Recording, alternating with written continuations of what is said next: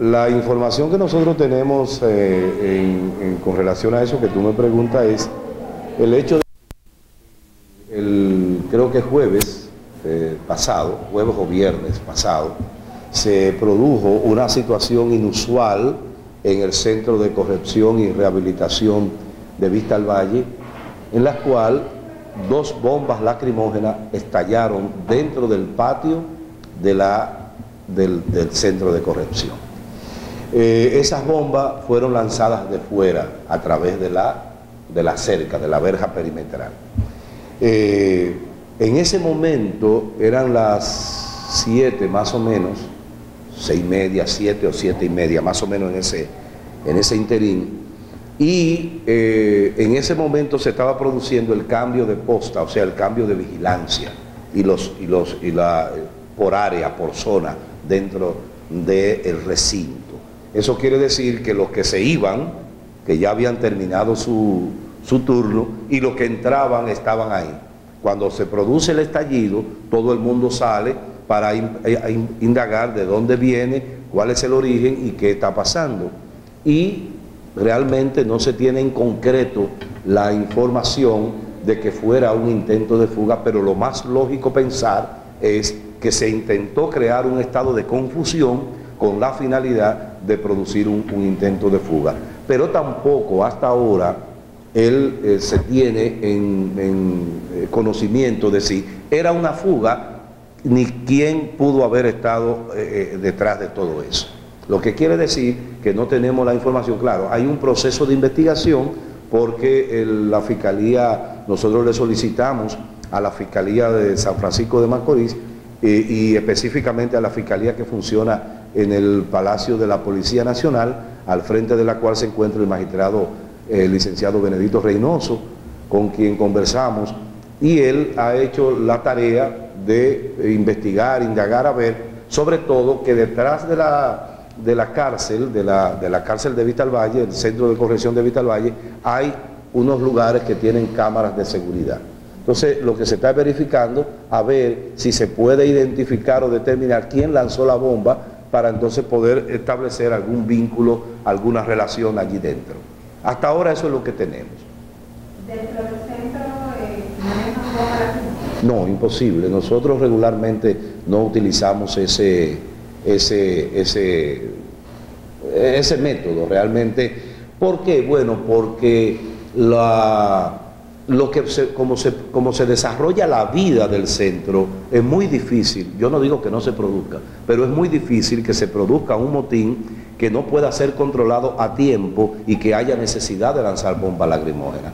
¿Por qué? Bueno, porque los internos no están todos un grupo de internos en, una, en, un, en un entorno físico, sino que hay pequeñas cantidades en entornos físicos. Eso quiere decir, hay una cárcel, una, las cárceles creo que ah, eh, tienen una, una eh, pueden eh, tener una población de no más de seis, por la cantidad de camas que hay.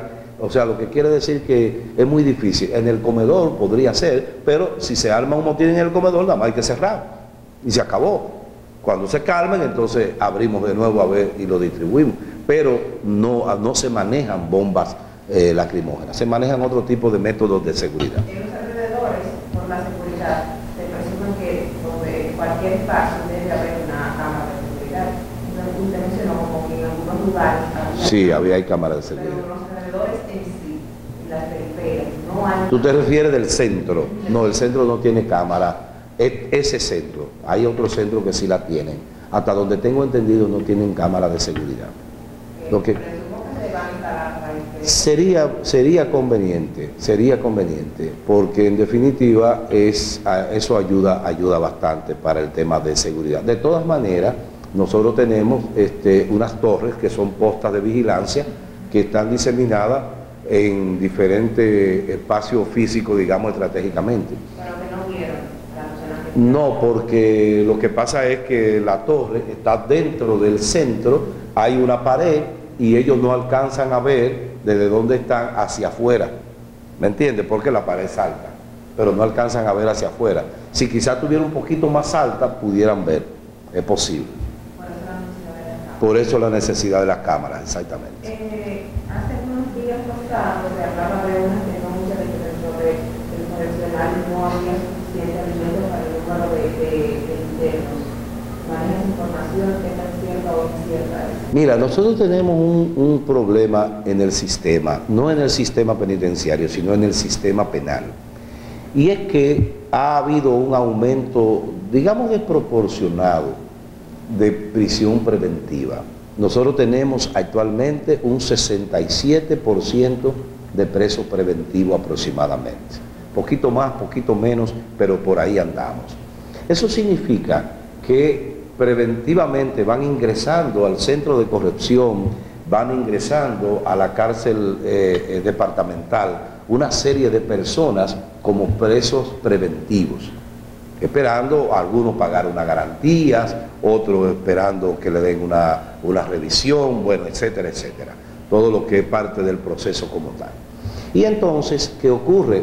Nosotros tenemos un presupuesto establecido para la alimentación de todos los centros regionales del país, de todos los centros correccionales del país y de todas las cárceles tradicionales. Lo que quiere decir que si el centro recibe una X cantidad para, digamos, 300 internos que tiene ahí y en el, y en el mes nos llegan 350, nos, llegan 50 más o nos llegan 100 más, pues indudablemente que tenemos que reducir las raciones para poder alimentarlos a todos, porque definitivamente tenemos que esperar el otro mes para poder comprar los alimentos para esa nueva cantidad, ¿me entiende? Entonces no es que no hay alimentación, no es que no hay raciones para darle a todo el mundo, es que en definitiva, producto de la cantidad de presos que entran al mes, claro, salen otros, eso es correcto, pero salen y entran.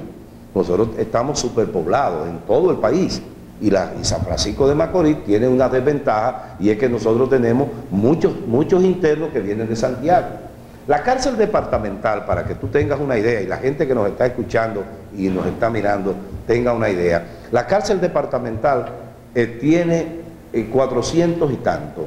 De esos 400, solo ciento y piquito son de San Francisco. Todos los otros son de Santiago. O sea, ¿por qué? Bueno, porque Santiago tiene una superpoblación. O sea, tú me entiendes, son las realidades que uno se enfrenta el día a día. De esas realidades es difícil. Ese entra y sale, dinamismo, debería estar previsto totalmente. Sí, pero no, es, no, no, no la cantidad.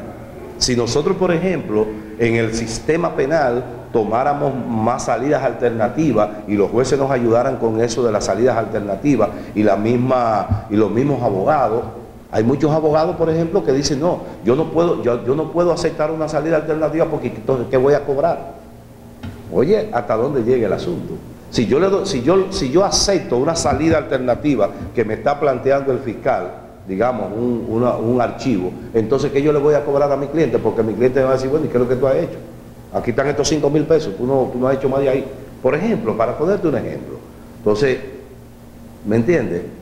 Es una situación donde hay demasiados aristas, demasiadas cosas. Es difícil.